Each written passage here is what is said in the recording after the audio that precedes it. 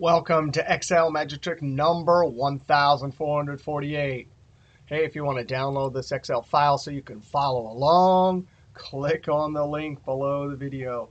Hey, this video really should be a duel because Mr. Excel already did a great solution using a helper column here. Now, below the video, I left a comment of a single cell formula that would do it also.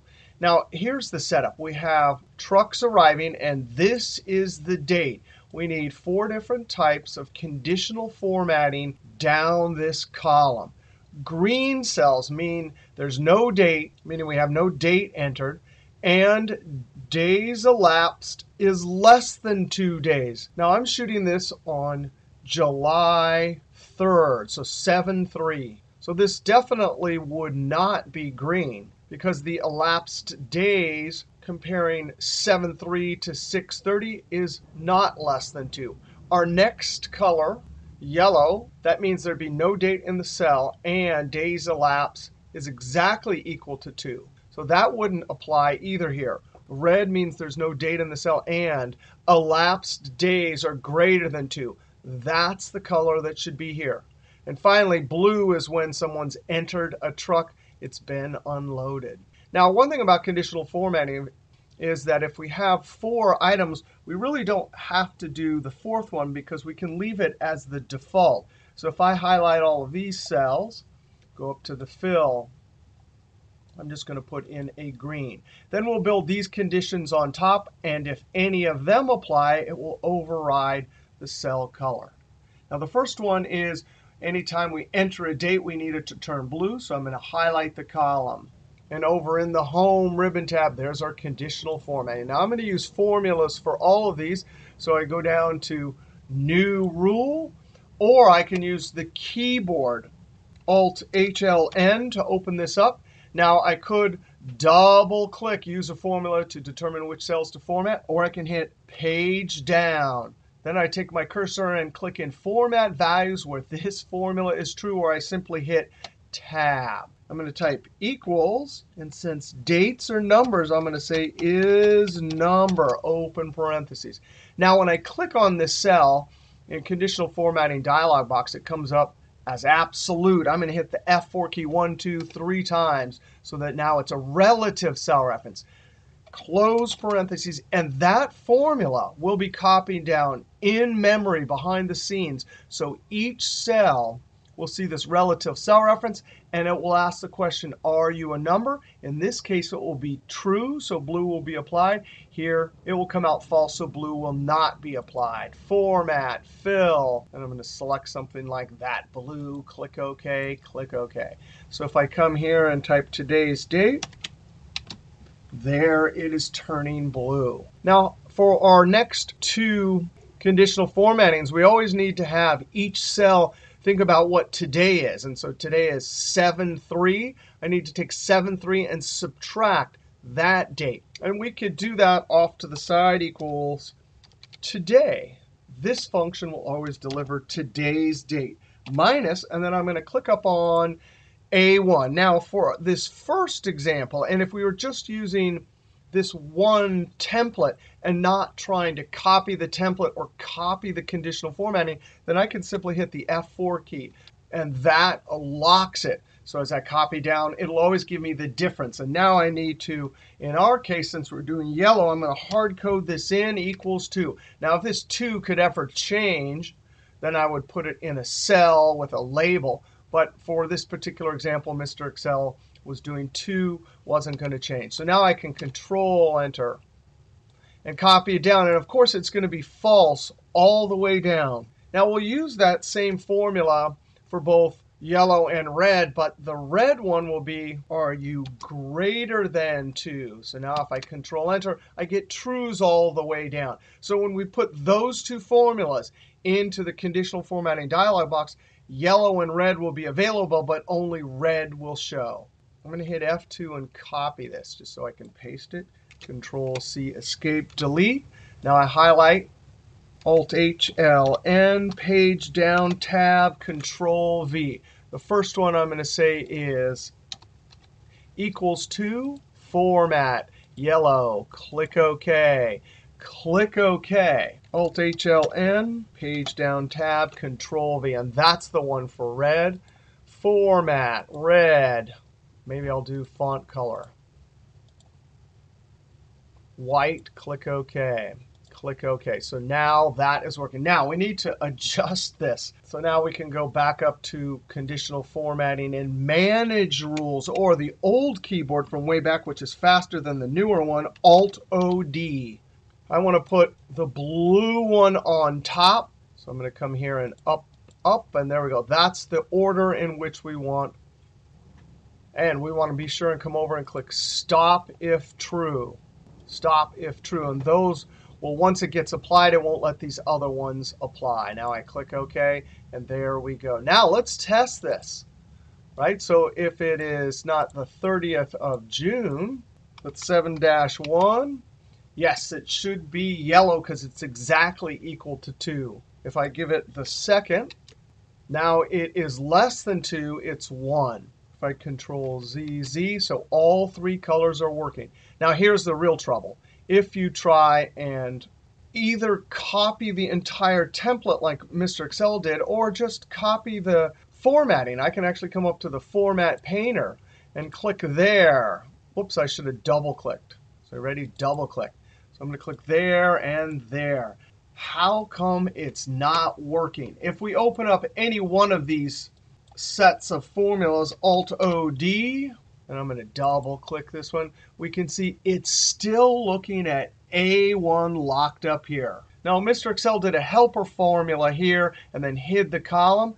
Here's what I'd like to do. I'd like to change that A1 cell reference that's actually in every single formula for all of our conditional formatting, I'd like to change it to a cell reference that would automatically, as I copy down, know to look to A1. But when I copied it to the side, now it knows to look at D1. And not only that, when I get down to row 20, it should no longer be looking at A1. It should be looking at A18. Now, the way we can do something like that is by using the offset function. Now think about this. Right here for offset, offset would need to know to jump up two rows, which means please subtract two rows and subtract one column. And that would give me cell A1. Over here, it needs the same thing. Subtract two rows, subtract a column. But guess what? Here. How about right here? It's still subtracting one column, but now it needs to subtract one, two, three, four, five, six rows. Not only that, but as we copy down when it gets down to here, even though right here we're subtracting 15 rows to get back up to cell A1, when we copy the formula down, right here, it should not be 15, 16, 17, 18, 19. It should be back to minus 2 rows. All right, we're going to use the offset, but it's the number incrementing part that's going to be hard. All right, almost always when we're doing number incrementing formulas, inside at the heart of the formula is either rows when you're copying down across the rows and you want something to change, or columns, which we'll see in a second. Now I'm sitting in G3, so I type not G3 because actually the formula in the conditional formatting dialog box is going to start right there in B3. So I'm going to type B dollar sign 3 to lock the row, colon B3, close parentheses. Now this is an expandable range.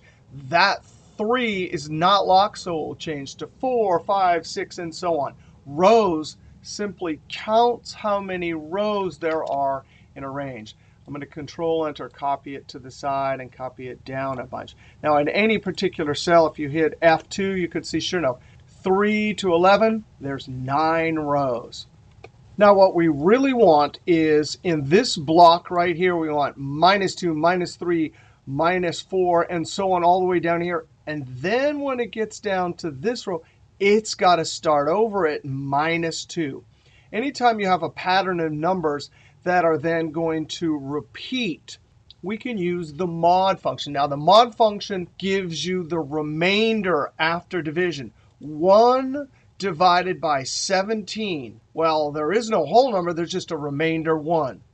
2 divided by 17. Well, the remainder would be 2. Now, 17 is because that's how tall that range is. So I click on the top cell, F2, and then use the mod function tab. Now, instead of 1, I don't want a 1 here. I want 0. So I'm going to subtract 1. And now I'm simply going to put the denominator 17. And mod will know to take that number and give us the remainder. Close parentheses. Control Enter. Copy it to the side, and then double click and send it down. That is amazing. Look at that. We get a number incrementer, and then it starts over exactly in the right place. Now, F2 at the top, we really need to subtract rows, not add. So I'm going to put a minus sign in front of the mod. Control Enter to populate this edited formula through the entire highlighted range.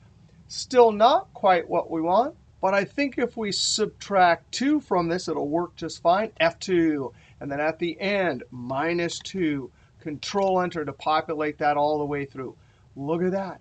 Minus 2 all the way down, down, and then it starts over. All this is going to do is as we copy to the side, offset will always know for the row to go minus 2 up. Down in this row, it'll know to go minus 8, and so on. Now I'm going to copy this just that little bit right there, Control C, C to open up the clipboard. I want to collect the row incrementer and then the column incrementer. Now, if this didn't open on the first try, you have to go to Home, Clipboard, and Launcher. And then down in Options, you have to check, press C twice to open Clipboard. All right, now the next number incrementer. Well, you know, when I started off doing this video, I was thinking, oh, I was going to do columns. But no, let's look at this any single cell in any one of these templates only has to jump back one column. So minus 1 as a hard-coded value will work. Now, our next step is to test the offset function. We'll use how many rows to jump back, and we'll hard code in minus 1. And when we do that, we should be seeing the proper date as we copy through our range over here. So you ready? Equals offset. Now, offset always needs a starting position, and then you tell it how many rows to move and columns to move from that reference starting position. Now, because the formula is always going to start with B3 in this first template, it's a relative cell reference. And really, that's the magic part of this, right? Because it'll copy down here, and as we copy it anywhere in any one of these templates, it'll always know to start in the first cell and copy down comma. Now the rows, that's going to be our mods incrementer, comma, and then number of columns to go back. We simply hard code minus 1 in. Close parentheses. Control Enter. Copy it over. Double click and send it down. Control 1 just to see the date. Click on date. Click OK. Now, these columns don't matter here, but notice, wow, that's working perfectly. When we copy it over here, it'll totally be looking at the seven ones there. And when we copy down, boom, all of these cells will be looking at 7, 2. Now I'm going to click in the top cell F2, and that is the formula element that's going to replace that absolute A1 cell reference. Control C in edit mode, escape. I'm going to highlight. And now I need to edit. So I go to Home, Conditional Format, Manage Rules, or I can use the keyboard Alt-O-D. There it is, that A1. Double click to edit that. I very carefully highlight the A1 and Control V, because that was the last thing I copied. Click OK. Double click to open this up. Highlight that, Control V. Click OK. Click OK. Now, we better test it here before we start copying it somewhere else. I'm going to change this to 7 slash 1. Instantly, that updates. These ones are still linked through cell A1. 2 better give us green, and sure enough. Now I'm going to Control ZZ and highlight these formulas in the conditional formatting dialog box right click. And on the mini toolbar, I'm going to double click the Format Painter. Double click. Very carefully, I click on the top cell. Click, click, click, and escape to turn that off. And sure enough, it looks like it's working. If I come here and put a date, that turned blue. If I test this up here and change this to 2, it better turn green. Change this to 6 slash 30. And it is working. Wow, so that was a little fun with a number incrementer and offset to substitute a cell reference and conditional formatting. So we could either copy the template or the conditional formatting over to the side or down below. Now, because we had that row number incrementer, we would have to have this size tall template and then go down a row and paste the new template. All right, that was a little fun with offset function used with conditional formatting. Thanks to Mr. Excel for his video. It's awesome to be part of an online Excel team. We'll see you next video.